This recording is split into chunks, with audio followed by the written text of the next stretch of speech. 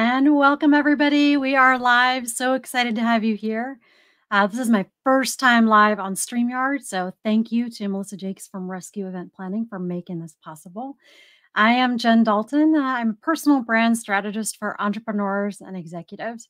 Thrilled to have you here to talk about my latest book, my second book. So thank you for joining me live. I really appreciate it. You can drop questions in the chat and we'll pop them in over to the live conversation. One of the things I am most excited about to kick off this author series over this week and next week is that with me, I have Professor Danielle Robinson Bell. Not only is she assistant professor at Northwestern University, um, she's also a friend of mine from high school. So, welcome to Danielle. I would love her to give you a little bit of background about herself and introduce uh, what makes her so amazing. Oh, Jen, thank you so much for having me. Um, and thank you for that introduction. Uh, we do go way back. far back. and so um, I, I, was honored to to have this time with you uh, this this evening on such an occasion. So congratulations on on this uh, momentous um, um, occasion, the release of your second book. Um, so I'm glad to be here. As you mentioned, I'm a professor at Northwestern University. I teach strategic communications. I think and talk and teach a lot about the impact of communications on things that matter.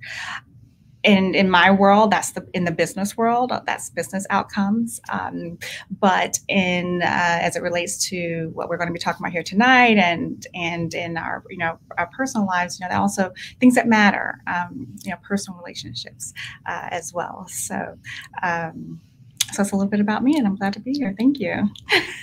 Absolutely. I i um this is a meaningful book. It's a personal book. Um and so I couldn't think of anybody better to interview.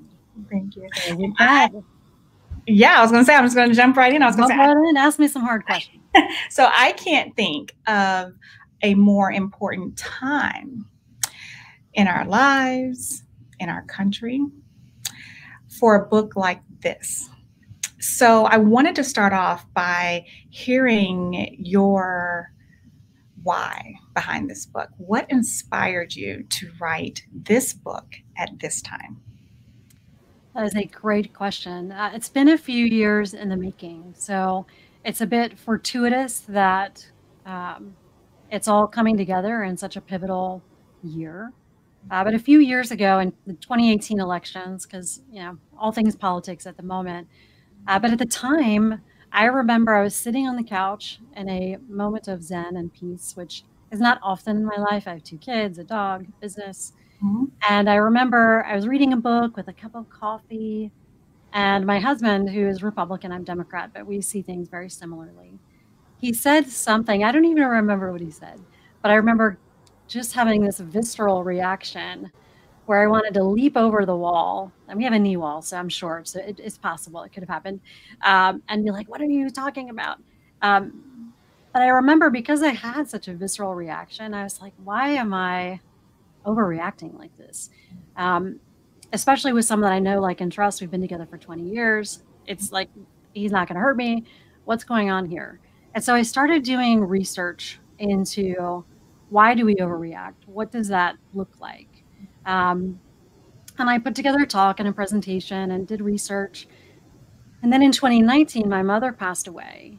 And that kicked off a whole nother series of conversations about grief, conversations with my father, with friends who had gone through it. And so that is really what triggered me deciding to write a book and saying, gosh, I know, you know, I think I'm good at communications. But this is a whole nother level of communications that we really don't face every day, but we will face them throughout life. And so I started to think about, you know, who do I know that's really good at communicating, and then interviewing them. Uh, and that's really how the book came together is through interviews and just trying to pull together a, um, a new perspective of how to look at having difficult conversations. So, and I think it's it's interesting that um, it seems to be just it was the perfect mix of timing in terms of all the things that were going on around us and in your um, in your personal your life uh, in your personal life. I know that one of the last times that you and I um, uh, were in a forum like this together uh, was just over the summer. And it was um, at the um, reunion, high school reunion. won't some say what number. Year reunion. Some big good year, some good number. of um, a reunion with our high school classmates. And um, we, after we got through the hellos and introductions and catching up and things of that nature, um, a very powerful conversation, a very powerful. I don't even have the word for it. Maybe you, maybe you need to be in communications. I don't have the word for that. Something very powerful unfolded at that event. And it was in a forum like this, it was on Zoom. And I think what's important to note about that was um, that it, the date. So we had this online virtual high school reunion on June 6th of this year. And if you recall, June 6th puts us at about a week, maybe a little more than a week after the murder of George Floyd. And, and I don't want to do all the talking here. I'll let you take over. But um, for, for context, you and I went to high school in Augusta, Georgia, at a very unique, diverse, unique, diverse by their definition school, um, School of the Fine Arts, and um, it was just really powerful to hear while catching up on everyone's lives how everyone was processing um, not just the events of this year, the of, at that time of that past week, but then drawing connections and drawing links to experiences that we shared in the hallways, in the classrooms, uh, you know, back in the day. Absolutely, and I was surprised at some of what people shared because I hadn't ever heard these stories. Same. And so it was fascinating. Um, first of all, it was fascinating that we, as a group, collectively decided let's talk about race. Let's talk about what did people face? What were different situations? What were things they face now that was different when they were in high school? Um, worse now, they had better experiences in high school. I mean, it was it was not what I expected at all. Um, but I was first I was scared. I was like, oh my gosh, we're really going to talk about this. But then I was like, well, we need to talk about it. And, you know, our class was small, it was 72 people. We had 35 people at our reunion. Um, and so we really had a great discussion, just sharing. And when I think about the types of conversations we have, when we go into them, sometimes it is really just to learn and to listen. And that is the, the best place to start a conversation is just to listen. Mm-hmm. I think we go into conversations sometimes thinking the goal is to either win or solve the world's problems. And that's not how most hard conversations work. They occur over time. And they occur because you you listen and hear what people have gone through. I mean, that's what helped me get through um, the initial part of my mom passing. I'm still going through that. But I think for conversations like race, um, you know, for for people who are coming out, you know, any of these topics in the book that I, I share, unless you hear someone's perspective, their truth, um, it's very hard to know what that is unless you ask. And so I was very proud of us at that reunion. Granted, we did have a couple of drinks. I think we spent about four hours on a Zoom call, so we're a close class. Um, but we shared a lot, and I think that's important. I think people forget that the reason we should talk about hard topics mm-hmm. is so we don't feel so alone. Right. And that helps you process your emotions and just have more information.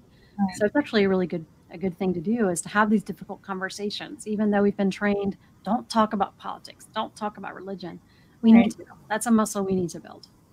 And so, what struck me, um, to your point about the book, is that it feels so relatable. I, I mean, it's engaging. The pages turn very easily. and and you're you're left with these very practical takeaways and it's it's rare at least i found it rare that those two dynamics exist in one text. So how did how did you do that? How did you make this book such a such an engaging read but such an impactful takeaway? Well i'm glad you found it engaging. Um, i'm a big believer in storytelling. And so you know when we communicate and we share a lot of numbers and data that really only engages one part of your brain. Uh, but when we tell stories, that engages your entire brain. And so the beauty of this process, you know, I'm not a research expert in communications, right? I haven't, I mean, there are plenty of people who've written books, difficult conversations, crucial conversations, impossible conversations. There's a lot of books out there, right? And um, my goal was really just to step back as a as a mere mortal and write about here's what it feels like going through a conversation but but share the full story. Because sometimes we need context about well why did this conversation start? What happened during it? Not just a few sentences but like the whole experience. And so interviewing people who were so generous in sharing these private personal stories so that you know if you do have a child who comes out as transgender i have an interview about that right in in a chapter that's about coming out. Um, if you do want to talk politics the chapter i have on politics is an interview between a father daughter. And so all of these stories i wanted people to read them and and almost like you were sitting on my shoulder listening to this interview, almost like you were in the conversation. Because a lot of times we don't get that full story. And that's really what matters. Um, and then I'm a big fan of takeaways. So I don't give a talk or go to a meeting without here some takeaways. What are we going to do next? Mm-hmm. So I tried to pull together insightful, quick, easy to remember things um, that people can think about because we are not wired for difficult conversations. We're wired really honestly to avoid them, right? We're wired to survive. And difficult conversations tend to really create stress, so we avoid them. So, what are some of those tips and tricks that I learned that other people learned and shared? Um, and so, I think, you know, at the end of the book, I've got the final chapter sort of pulls out sort of my top five takeaways. And then a framework for how to think about communicating hopefully in a way that helps people just get through a conversation in a way that does not damage a relationship mm-hmm. right and then we have some of those easy things we can do they're only easy if you know them but easy things we can do um, to keep moving the conversation forward but right. not hurt the relationship so so let's stick with the frameworks for a second um, because one of the things you do in the book that I love is that you, but we got to talk about give, give these very interesting interviews. And I want to come back to the interviews for just a second after this question, but that you, um, and you don't just leave it you just leave us with these wonderful stories, right? You go a step further and give us ways to identify and navigate similar types of conversations in our own lives, right? Um, the frame like so talk to me a little bit about the framework because it feels very um, in a space of its own um, as it relates to other other texts that are out there. So for me and i'm i'm a very structured person i like having a structure because when i have a structure it helps me depersonalize and just step back and navigate something easily. It's like going to a restaurant. You need to have a menu. It just makes it easier unless it's like the Cheesecake Factory, which has the menu with a thousand things. Um, but they're good, but it's a lot. Um, so the framework is is six pieces, which sounds like a lot, but I think as I talk through it, it'll make more sense. Um, I think a conversation can have different elements. There's a conversation where you go in and you're listening. There's a conversation type where you go in to share information there's a conversation where you go in to collaborate. And those are all really positive. You're listening, you're sharing, you're collaborating. there are three others that are a little bit trickier. One is a provocative conversation. Uh, we all have those where someone throws a verbal grenade and you're just sort of hoping for the best. Um, there's a conversation where you change someone's mind or you want to change their behavior. And so as I looked through all of these conversations and tried to think about what are those different themes, those are the six that stood out. Listen, share, collaborate, a provocative conversation, uh, changing someone's mind, changing their behavior. And as I started to look at those themes, the reality is in a given conversation, you can be in one, two, three, or even all six of those, right? A conversation can go through different stages. And for me, if I'm in a conversation and it starts out provocative, because that can happen, my goal is to get it back to maybe just listening, right? Maybe that is a success. Someone comes to me with something provocative, maybe they're sad, mad, upset, whatever it is, And my goal is to help de escalate to listen. Maybe there's not anything for me to share. Maybe they just want to vent. Um. Maybe I ask, Can I help you? Are you just venting? Do you want some thoughts? And then they might say, Yeah, actually, what do you think? And then it's like listening and a sharing conversation. So the goal with these different types of conversations was really to help think about where am I? Can I de escalate? So it's kind of like a little roadmap or guide to help you figure out hey, what is this? Okay, this is where we are. Let's think about these different tools. Um, and so that's why I came up with those six. And I'm hoping it is different uh, after looking at all the frameworks that it's different enough that it's valuable. Um, everybody will find value or like different things. And as long as this framework helps people and gives them one more tool to think about, then that's a win. Well, I think it's also not just about having something to think about, but calling it something. Yes. Right. Naming so, it.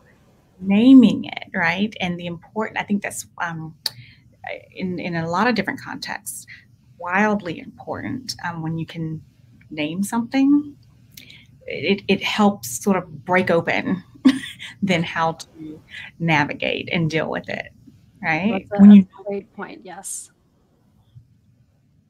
Um and so something you said um at the start of uh, just a few moments ago about how we feel when we start down the path of difficult conversations, conversations in general, the difficult conversations. So um, let's be very honest here, right? Yes. there are people, I know them, you know them. there are people who are quite comfortable being uncomfortable, right? Um, as in, they are perfectly fine leaving that difficult conversation untouched. they are like, I, I know I need to have it. I see it. It's in front of me. Not going to have it. Um, and I'll even say from my own personal experience, when I know that I need to embrace a challenging conversation or have a hard talk with someone, I am feeling it right now. I, my, have a physical and emotional response, right? Um, that I have to sit with for a minute. And I do this for a living, but I have to sit with it for a minute. Um, you know, and then and then proceed. Um, not everyone's like me, and and will just sit with it into forever. forever. Yeah. I I deal with it. I'm trained to do this. Um, but a lot of people just sit with it and be perfectly fine. Okay. So, so what do you say to those people? What do you, what do you say to people who are like, you know, I'm not going to risk comfort and in a lot of cases, peace, mm-hmm. depending on the dynamic, right? yeah. In my daily life, it's not worth it for me to have this conversation. What do you say to that? It's a great question. Um, one of the reasons I wrote this book from a personal brand standpoint is that I believe we have to be authentic. Mm-hmm. And because this book is about the relationships with people who are close to us, right? It's not about strangers on social media where you get into a, a Facebook fight over something. This is about people you care about. And if I think about showing up authentically, being yourself, the reason you have these conversations is so you can be more authentic and share um, what you're thinking about, right? Mm-hmm. And what matters. Now, some people go into a conversation and it's a monologue. That's not a conversation, that's a monologue. I think when you decide to go into these conversations, it really has to be a dialogue.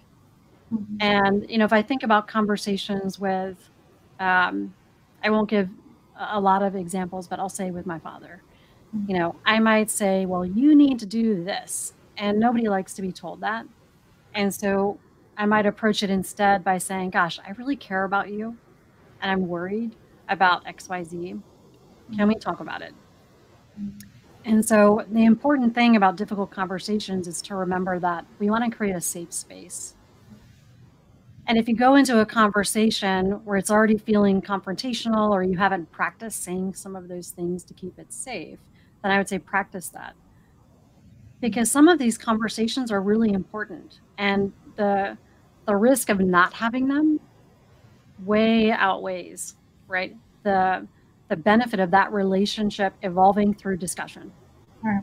There's really great research that shows, um, and it's in it's in the book, and I'll put you know the, the research in the chat later. But it talks about when they monitor conversations and people are engaging, that's when your brain evolves and develops the most, because we are born to be connected right? We're, we're born to be in relationship and talking and discussing. That's when you grow. It's not when you're by yourself. and so these hard conversations can make for much better, deeper relationships where you can be yourself. There are some conversations like if you're coming out, that is all about who you are. And it's a really important conversation to have. And if you don't have it, you can't be your authentic self there are other conversations about politics where, you know, if I think about Thanksgiving, do you want to have a peaceful Thanksgiving? Sure. Um, but you can also have that conversation, I should say, and you can have that conversation and just set some guardrails, right? It's okay to say, I'm not here to change your mind. I have an observation and I just want to get your perspective and just listen. That goes back to the framework. Just listen. Because a lot of times we need more information to understand someone else's perspective before you can really move forward anyways so for me having these difficult conversations was about being yourself and not carrying this monkey on your back of like well can't have this conversation and avoiding it because that adds a lot of stress it's mm-hmm. sitting out there not being had where things could be a lot more positive if you just have it. And sometimes, and I, I know you've seen this too, people make assumptions about mm-hmm. what other people are thinking, why they said something. They have their own story going on in their head. And a lot of times the stories are a lot worse than the actual conversation.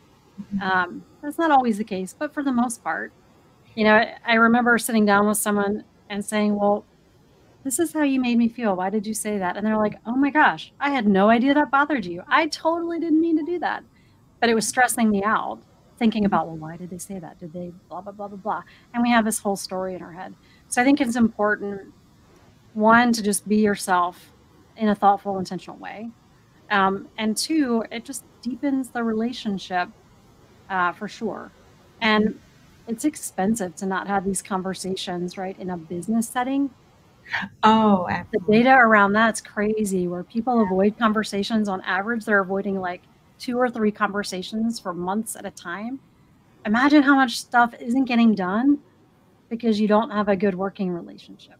So those are just some thoughts as to why why it's important to have these because it's not productive uh, to avoid them. And I think it's important to note that even in the example that you gave with your father, like how you would enter into that conversation, hi, I care about you, I love, you know, I, what that is, those few words, that's connection, right?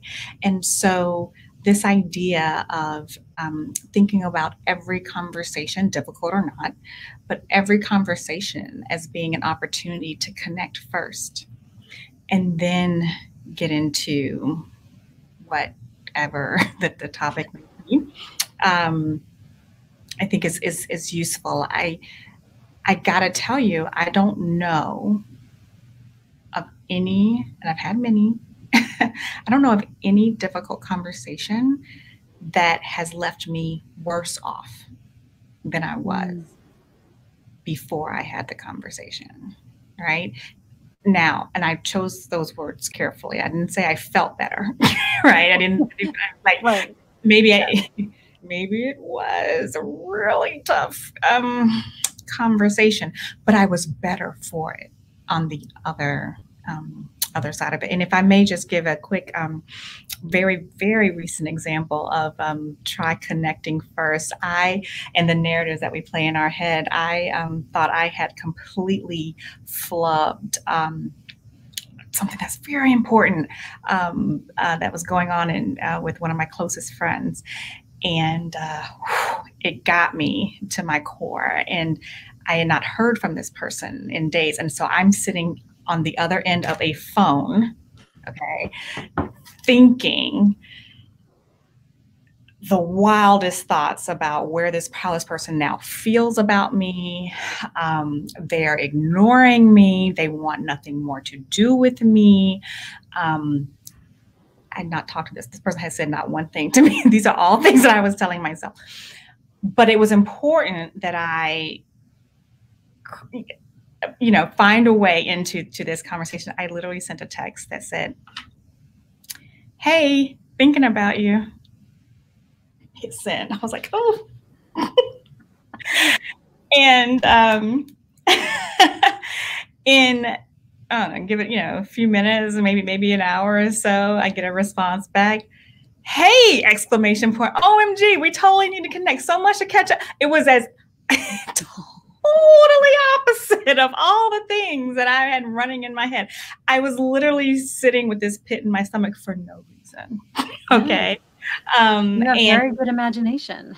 I mean, it's, it's, it's, it's wild. Okay. So, but I, um, I started with the point. I didn't, I didn't, the first, te- I didn't say, hey, uh, so yeah, about a thing I just did, you know, that's not how I started. that's not how I chose to start it. I said, let me try to, or, you know, my thought process was, let me try to connect. So simple. Hi, thinking about you. So I didn't even, it wasn't, hi, hi I didn't even ask a question. Are you mad at me? a question. Because yeah. I was, I want to give, you know, I just, I put it out there you know, and then did this. But um, but that that allowed for a response that completely, you know, um, like I said, sort of was in the, the opposite end of, of, where my head was. And so what's going to happen now is it was, oh, we need to find a time to connect. So we'll eventually connect. And I will then say, you know, hey, listen, you know, I completely flubbed that you know, and get into it, what have you. But at least I know I'm coming. At least I know I know where they are. They know where I am with it, right? Absolutely. And we can have effective conversation. So, um, connection, I think, um, is um, as, as, you've highlighted. Um, I think is very important with any conversation, especially the difficult ones. So, well, I think building that rapport in the beginning, just checking yeah. in, checking seeing in. how they're doing, being fully present is really important. I also think ahead of time, prepare, mm-hmm. right? If you're not sure how the conversation is going to go, map out a few different scenarios. Yeah. And think about what's the worst that could happen? What's the best that could happen? What was my role in getting us to this point? Because it's important to self reflect and think about mm-hmm. what did I do or not do that might be creating tension? Mm-hmm just so you're ready, right? Yeah. Um, and I think preparing ahead of time, I will jot down bullets, you know, especially if it's a business conversation, because mm-hmm. I want to make sure I don't forget something, um, especially if it's a difficult conversation. Mm-hmm. And that planning ahead of time can mean when you get to the meeting that you're not stressed, right? right? If I'm um, frustrated with someone, I'll have that conversation out loud by myself to get it out of my system. Like, why did they do that? But that way, when I go to meet with them or talk, um, I've already said those things and I'm in a different spot for that conversation. So I think it's really important to scenario plan um, ahead of time. Mm-hmm. The number one thing that has worked for me, is I've practiced difficult conversations every day, whether it's getting my kids to do homework or whatever it is, right? We all have a, a spectrum of conversations. Mm-hmm. Um, take a deep breath, right? Breathing will disrupt that sort of fight or flight survival mode. Mm-hmm. The other thing that's important, that's for yourself. The other thing is ask a question to the person you're speaking with. Be fully present.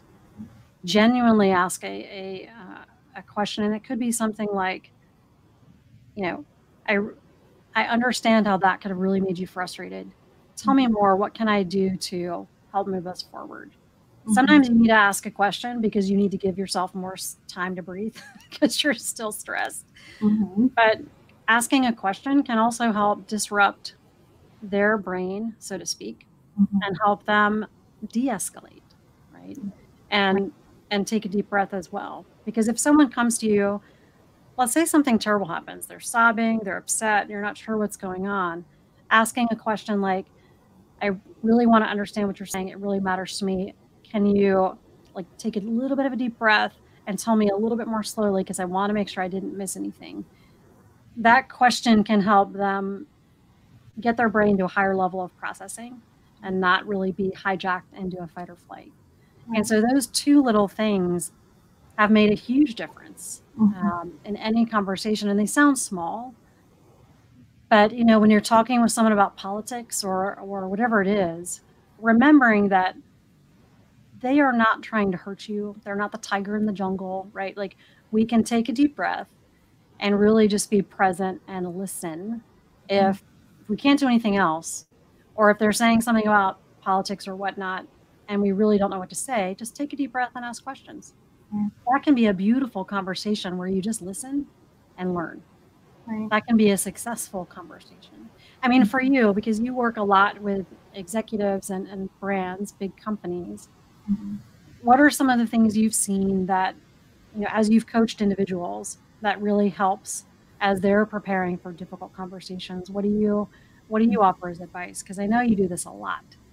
Yeah, I've um I've done it quite a bit, and um, I will. Um, I think, you know, forever remember uh, summer of 2020 as being um, uh, a particularly important time um, in my in my private practice, and that was um, again in this in the weeks um, after the murder of George Floyd and um, uh, the murder of Breonna Taylor and the protests that were um, erupting all over the country, and you suddenly saw statements being issued by companies and executives. Um, I coached a bit during that time, and and and and the one thing that I found myself leading with in those um, efforts is, as I mentioned before, connection, mm-hmm. right?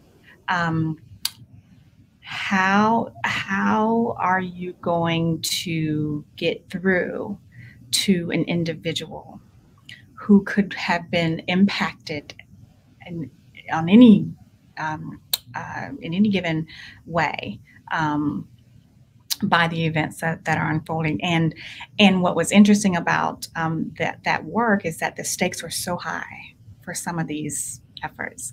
They are we're talking about the senior most um, levels of an organization where shareholders are watching, boards of directors are interested in what you're going to say. You have to worry about how consumers and customers are going to react to whatever it is you say. Um, and I started with, as we're talking about here, with, well, saying nothing is not an option, right? Um, so again, let's look for the ways to connect. Um, and so I, I, I, I, like to start there. Um, um and then you know it really depends on on on the on the context. I look for ways to leave both parties whole. Um, and so and i and i share this in, in my um, work a lot with my clients is look for the connection get into the crux of the of the conversation, like handle the business that needs to be handled. Like, what are you trying to say? What are we trying to accomplish? You know, whether it's um, company wide memo or a very important. I once um, I was once behind the scenes of a communication to um, to the White House. um, so it's you know all the you know that that end of the spectrum as well. And so um, you know so let's deal with what we're trying trying to get across. And then how do we exit this this conversation this piece of communication with you feeling whole the person on the other end feeling whole? We've accomplished something in the middle of, of that um, and then we on the back end we're teeing up what's next. Do you want a phone call? Do you want what you know we call it cta call to action uh, mm-hmm. uh, business and marketing world but you know what's your what's your call to action? You know what's your next step? Um, and then making sure that we follow through on that. So it's a very simple uh, sort of way that i um, have you know been working with um, organizations and, and executives and like i said on everything from company-wide memos to email correspondences to you know, you know, i work with them on what are we going to say in this op-ed? Um, and so um, so yes it's a very uh, kind of simplistic way that I that I approach it. And it, it it's not cookie cutter. Like it's not the same for every single mm-hmm. individual, but in broad mm-hmm. strokes, that's what it is. So, well, I think, I think for, um, um, there's a little, there's bit, of a little bit of a um, um, for conversations where the I mean every conversation the audience is the most important like crux of the the conversation. Where is your audience at? What do they believe? What do they know? What information are they bringing to the dialogue? Um, because as you said there are a lot of conversations where you know from a senior executive standpoint their information their experiences their background informs what they say and it might be very different than what their audience has experienced mm-hmm. what their audience is going through. And so um, even if it's a one-on-one conversation or one-to-many or whatever that is really understanding and speaking to the audience in words that resonate with them right? And not just what you would say but finding that common ground finding the common language um, is really important. I mean even you know, for the chapters that I wrote on on race and on diversity, you know, I went out and, and interviewed people who they don't look like me, right? I don't have authority to speak about race. And so, I mean, I can speak about what I need to learn about it. I can speak about what it's like in my, you know, growing up in Augusta, growing up here. But I need to go ask people who have gone through it. I mean, a good friend of mine who I interviewed was sharing how, and he's African American, veteran. You know, he went to the Capitol building one day with his friend, middle of broad daylight, got out of the car, took a picture of the Capitol building, and Capitol Police come up, guns drawn, asking him, What are you doing? And his license plate says retired veteran, really good. and and so when he shared that experience with me, that just gives you a whole different perspective on this is what it's like, right? And it was important. George Floyd was a, there are a lot of moments that have been pivotal this year. The reason that mattered is because we had video.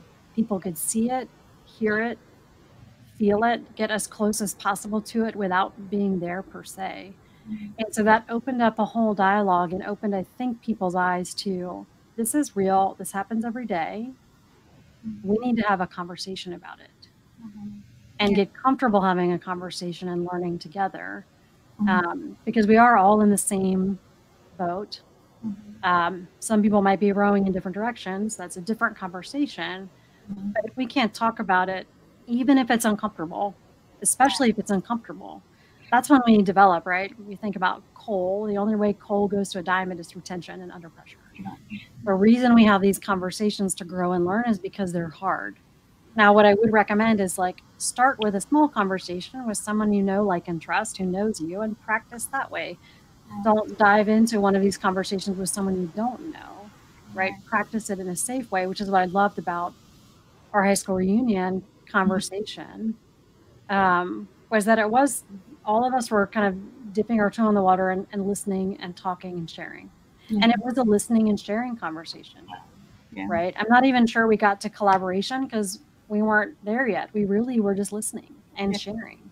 Yeah. Um, and that in itself was really powerful so that we don't feel like we're alone. Right.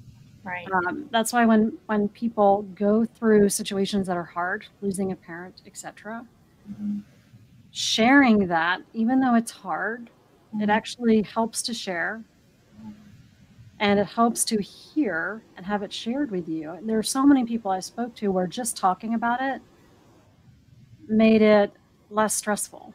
Mm-hmm even when you're laughing about oh that's the conversation i had with this person or that person and and you all can sort of laugh through it mm-hmm. and get through together that's a that's a big deal how do you think about vulnerability in difficult conversations um, this is something that Brene Brown talks about a lot in her work. Um, where does that play when we're thinking about um, a difficult conversation? This, this, this, um, this feeling of um, vulnerability when we're when we need everywhere. to have Yeah, I mean, I mean, I'm a huge Brene Brown fan, um, and I think a lot of this is vulnerability. And for me, vulnerability is not weakness; it's it's courage to speak up. And I tell my clients telepathy is not a strategy. the same is true in conversations. I love that. if you are thinking or feeling something, then it's important to share that. Mm. Right? If somebody says something that offended you, it's okay to say, gosh, we're really good friends. And I know you would not try to hurt me in a million years. Mm. Uh, but I wanted to talk to you, or and I wanted to talk to you about this conversation last week. This is what you said, and this is how it made me feel. I know that's not what you meant. And I wanted just to bring it to your attention because I value our relationship, right? The reason I'm talking with you is because I care about you and I want this relationship to work and be successful. It's important to let people know you care about them, and that's why you want to have the conversation. Mm-hmm. It's not because you're trying to punish them or you don't like them. It's because you care that you're opening up and sharing that. Right, right, right. And I think that's that's huge. Right. So before we uh, open it up for Q and A, one last question for yeah. you, Jen, which is: um, so this is not your first foray into publishing. Um, you wrote a book um, before this one um, around personal branding. Now we've got this wonderful uh, book. What's next? What's next for you? What's next for your work? Where? What more can we expect from from you? Oh, what more can we expect? Um, I had somebody ask me about the third book today, and I was like, it's in my brain, but I'm not too soon. Too soon. Not ready for that yet. Um, I do want to continue to bring up this idea of difficult conversations in relation to being authentic, personal brand. How do these show up in the workplace? You know, we're coming into the new year. Um, as people are thinking about 2021, how are they going about um, embracing some of these difficult conversations and practicing them? Maybe when we're a little further away from the election, a little further away from the holidays. Um, how are they thinking about, you know, asking for a raise? How are they thinking about if they are coming out, right? How do they plan that conversation in advance to increase the odds of their success? And so, you know, again, I'm not the expert um, however, I would love to share, um, you know, share more of this framework, just help people feel comfortable practicing, because it it's the it's the practicing that's a muscle that has to be built. I am not going to run a marathon tomorrow. I mean, I wouldn't two years from now. But even if I were going to start, you just start by walking and then slowly getting there. So, you know, start with a, a simple conversation, maybe with your spouse about doing the dishes instead of passive aggressively saying, Hey, when's the last time we did the laundry or the dishes? Like just say, Gosh, I really have to help the kids. Could you, you know, do the dishes? Let's divide and conquer. Right. And and I'm not talking about my husband, by the way. He's he, no, we, have had those conversations. um, but yeah, I mean, you know, just start practicing. Mm-hmm. Wonderful. So I, I, know we have some questions from the audience, so I would love to uh, to tackle some of those as well.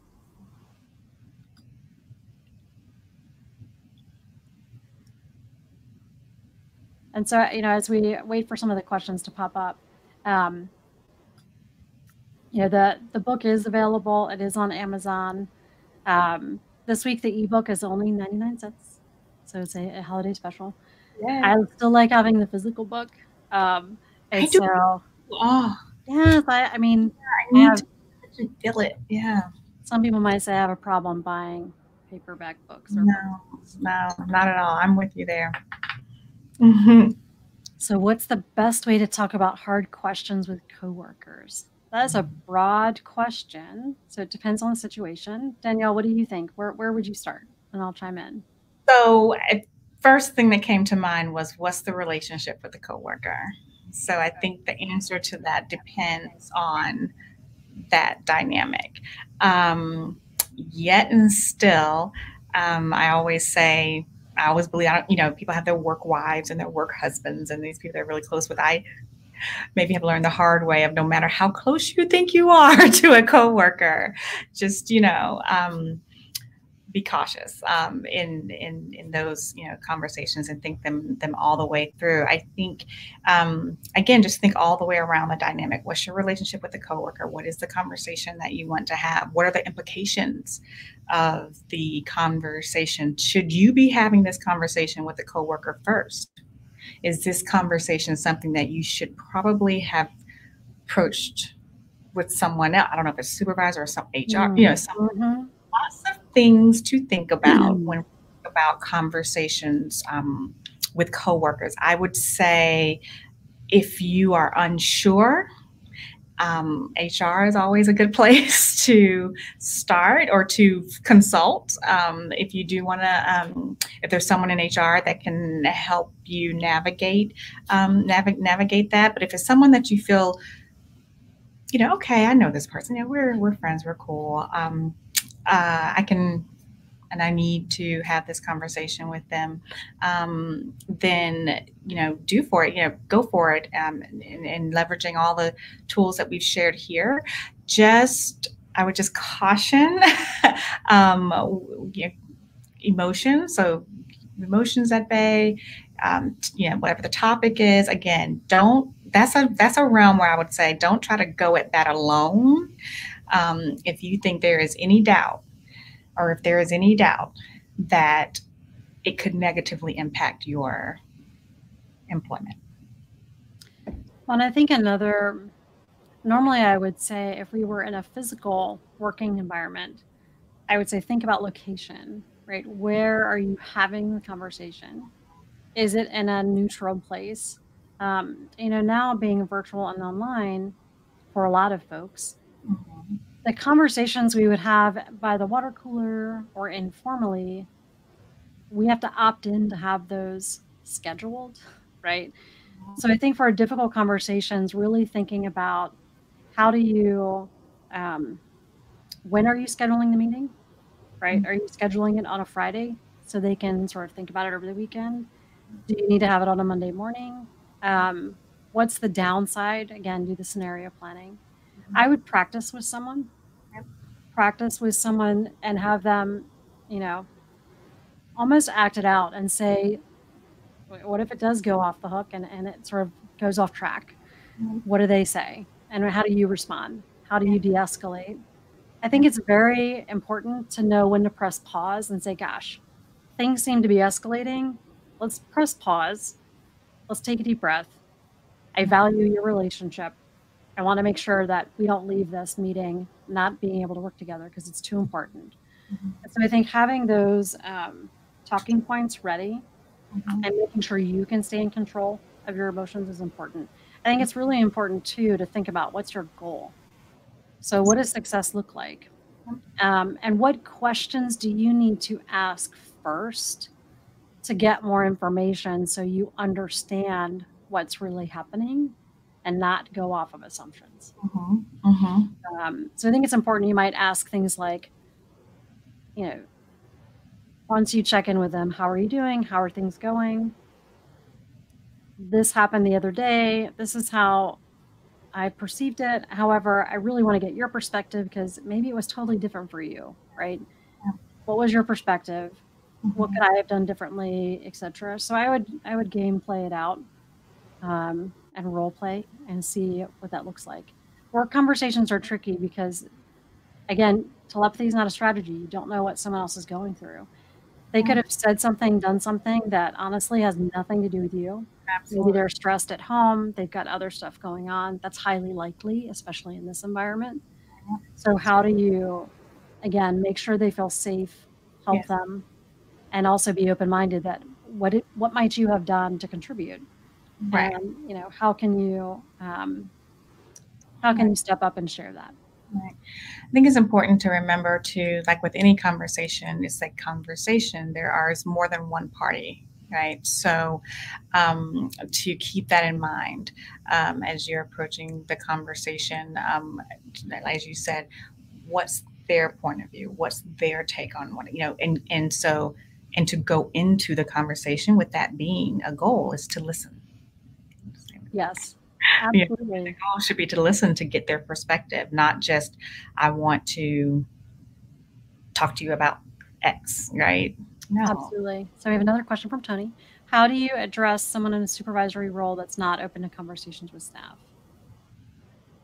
So if this is someone that you report into and they don't want to talk with staff, I would think about who do they trust? Who is an influential person for them? And how do you um, engage potentially another person to help influence that? I think there's another piece. If you have a trusting relationship with your supervisor i always try to reframe a negative. So if you were meeting with your supervisor instead of saying something like hey we never really hear from you it'd be good to hear from you another way to think about it is our team really looks you know they really value when you share insights. Here's one of the things i i think that folks are looking for. What are your thoughts on when we should talk about it as a team? Right? Empower the person in the conversation to come up with their own answer. Because if it's their idea the likelihood of them doing it is much greater.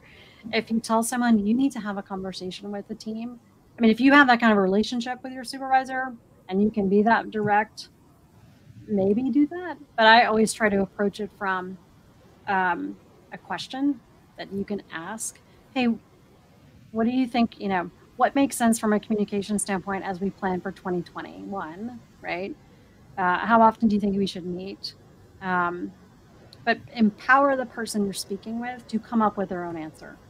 And it's okay if there are leading questions, um, but I think it's important people will make their behaviors, they will change their behaviors if you plant a little seed, but they need to be the ones to make that that grow and that happen. Does that resonate, Danielle? Like, what would you say? I I, I have nothing else to add. you hit the nail on the head. I'm sitting here nodding away. Uh, absolutely, agree 100. percent Yeah, I would ask lots of questions. Uh, with COVID, having difficult conversations about preparing for family members' affairs has been hard virtually how should family members work through this? Um,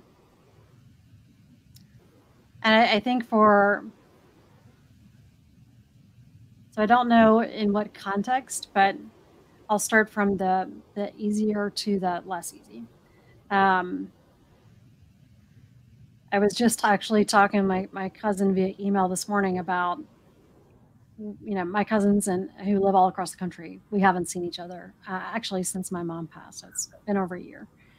And i was like well let's just set a time and get together and chat on zoom um, and connect and maybe you know talk about the book play some games whatever but just catch up. So i think there's the informal where again because we're virtual we have to make it a formal action where we get together and we proactively think about it I think when it's family affairs, like maybe someone passes, maybe you're talking about estate planning, maybe you're talking about a wedding, maybe someone's introducing a new family member. Um, there's a really great book called The Art of Gathering. Um, and it's it's extremely helpful because instead of saying, let's just have a get together and a meeting, Priya Parker is the author. She's very clear about what's the purpose of the get together? And how do we build an experience that brings people together in a thoughtful, intentional way? And so for family members and affairs, that might be a phone call conversation you have in advance or Zoom where you, again, you bring up, I really care about you. This is what's happening. I want to make sure that we stay together as a family. How can we best do that? Right? Again, ask people for their input and what they think, how they might approach it. Um, it's like the meetings in the business world. I know, Danielle, you've seen this. It's like the meetings leading up to the meeting, right? You meet with people to get buy in, and then you have the actual meeting where you need the actual buy in. Um, what are your thoughts on family family affairs? Um, this is one of the the way the the areas where I say, um, you know, connections, you know, Im- important, um, and so um, finding a way to have these very important conversations um, while again leaving all parties whole. Um, I think that should be or should be considered as a goal. Um, it is one sadly one of the facts of human nature and life, but that when families do begin to plan for affairs of loved ones, that's when so so much gets lost and um, relationships get strained and um, and I've just always thought that um, it is it is not I used to just think it was my family, but as I got older, I realized, man, this is just human. We all have dysfunctional families. I mean, perfectly imperfect families. Um, and I think it's just a testament to the impact of a loved one on the family, right? Yeah. The, the high that the tensions are, you know. So um, oh my gosh, I just feel like if if you um, can have the tough conversations the way we've laid them out, but if you can somehow figure out a way to bring it back together um, and leave everyone whole, um, and that may take time. I'm a big fan of space and giving space for you and for others. Um, not everything has to be hashed out and done right here in this moment, in this time. Yes. I, let, let space and time uh, work in your favor. Um, yes. And just, you know, find a way to bring it all back. That's such a great point. I mean, a lot of times, and this is why I wrote the book the way I did too, a lot of conversations are, they should not happen in one conversation. Mm. Right? Like pick a very small thing that if we can figure this out and it's the least controversial, start there, right? Get a quick win, practice the collaboration. Then set up another time for another thing. Like it's okay to plan these out. You don't yeah. have to get everything solved in one meeting. And if right. it feels like it's going off the rails, just say, gosh, it feels like, you know, yeah, that we need a little bit of time. Yeah. Let's just take a deep breath and let's yeah. talk again more, right? Yeah. Um, yeah. And the other one, and you brought this up earlier, but I really want to point it out extremely explicitly do not be the messenger. Mm. Right? We all know what happens to the messenger. The messenger gets shot. if someone comes to you, whether it's a work, you know, conversation or a home conversation, and they say, "Gosh, you know Danielle really well.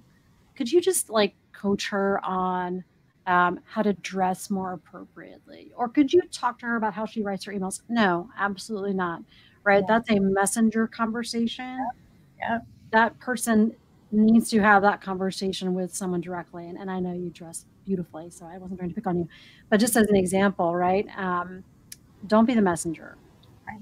Figure out how, how to either make it a conversation, but ideally, the person who came to you needs to go have that conversation. Mm-hmm. Courage. You need someone to help, like you can practice with them, but they need to have that conversation because the messenger gets shot. Do not be the messenger that's no fun, right? That's a monologue. It's not a dialogue. You are on a mission that will not be fun. I get asked um, all the time. oh yes. Just because you're good at communicating, okay. not when you're the sucker who is like, "Oh, I'll help," and you always want to help. No, no.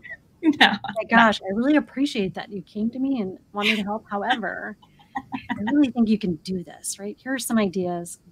Um, I've said that before. I've actually yeah. said, you can do this. You know, so here's some talking point, but you can do this. You can do this. Well, I know we're we're right at um, just at seven o'clock, and so I just want to say thank you to our viewers who who came out and spent this time with us. Thank you, Danielle. I'm so glad we've talked twice in one year, and we're going to talk even more. Um, my year for sure. Northwestern is very fortunate to have you. Um, very glad you were able to join. Uh, again, you know, you can grab your copy uh, of my book on Amazon. I would love for suggestions, feedback. If you want to practice difficult conversations, uh, just connect with me on LinkedIn, drop me a note. Uh, again, the ebook is on sale this week for 99 cents just for this week. And the print book is $18.99. It'd be a great stocking stuffer.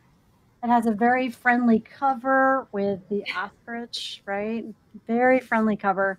Uh, he's going to be our mascot, I think, because we're all avoiding some conversation, but you so can do it right? We can we can take our head out of the sand and just pick one conversation you know you want to have that's easier but you're still avoiding it and, and practice there. Uh, but it's been great speaking with you. Again thank you to everybody who tuned in. Uh, tomorrow i'll be talking with jen molino and she'll be sharing with me ideas for women in leadership roles what are ways they can ask difficult questions and start difficult conversations as they move up in their career um, and then next week, I'll be speaking with John Saunders and Daphne Jefferson Tuesday evening, the same time, six to seven, about what the heck it's like to be an author. Um, because they both were authors in this cohort with me. Um, and it's a journey, let me tell you, lots of great stuff to share there. And next Wednesday, we'll be talking with Diane Falk over lunch about the difficult conversations leaders are having to have now in this environment, right? Mm-hmm. Some of them are positive, some of them are challenging, but it's all about how do you navigate those conversations and what does that look like if you're in a leadership role. So thank you again, Danielle. You're Wonderful so seeing you. for having me. Thank you, everybody, and we will see you uh, tomorrow from 12 to 1 for our next author series interview.